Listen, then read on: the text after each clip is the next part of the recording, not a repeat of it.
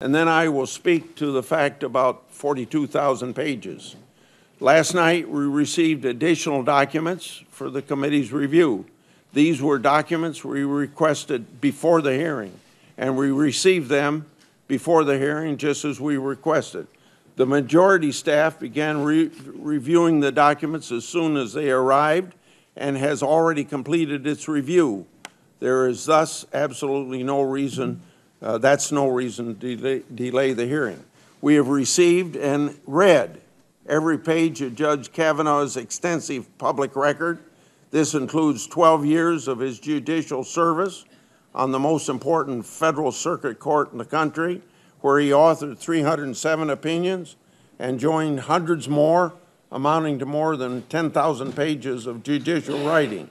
We, all we also received and read more than 17,000 pages of his speeches, articles, teaching materials, other documents that Judge Kavanaugh submitted with his questionnaire, the most robust questionnaire this committee has ever issued. And of course, we received and read more than 483,000 pages of documents from Judge Kavanaugh's extensive executive branch service. This is more pages than the last five Supreme Court nominees combined.